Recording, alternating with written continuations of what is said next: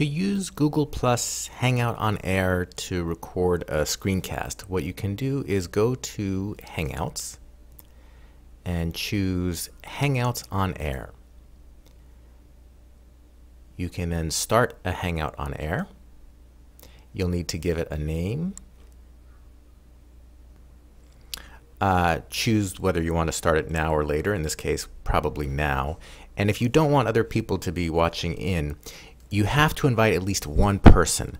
I have an alternative Google ID that I can use to invite myself. You can invite anyone and let them know not to respond, or if you have a, a backup ID, you can use that.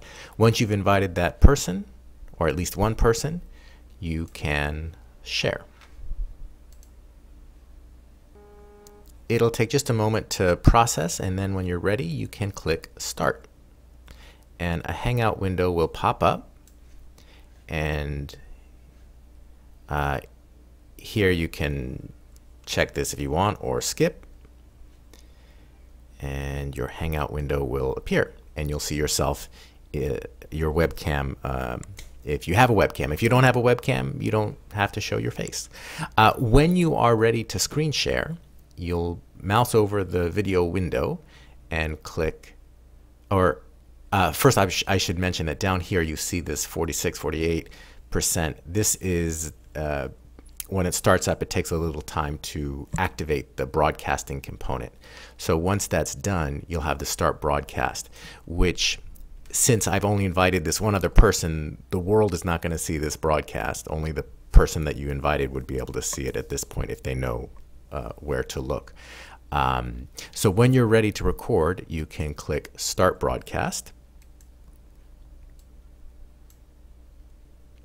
And it will take a few seconds to go live and you'll get this notification that Hangout on Air is live.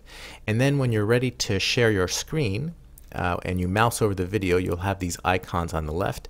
The second one, the green background with a white arrow, is screen share. And you can choose full screen or you can choose a particular app. Uh, I'm going to go ahead and choose my Google Chrome and click Start Screen Share. And so now instead of seeing my video, you're seeing my uh, Google Chrome application. And so you can see, uh, you can cruise along different um, web pages. You can have them lined up in tabs. If you want to go back to your webcam, you need to find your Hangout window. And again, you can click on the screen share icon and it will go back to your webcam. Uh, when you're done recording, you can click Stop Broadcast, and uh, this will then be listed in your YouTube channel after, depends how long it is, it could be a few minutes or longer. Eventually, you will see it listed here in your YouTube Video Manager, and you can either download the MP4 if you'd like to edit it offline. You can also click enhancements and use the uh, YouTube editor. So that is how to use Google Plus Hangouts on Air for screencasting. Good luck and happy screen sharing.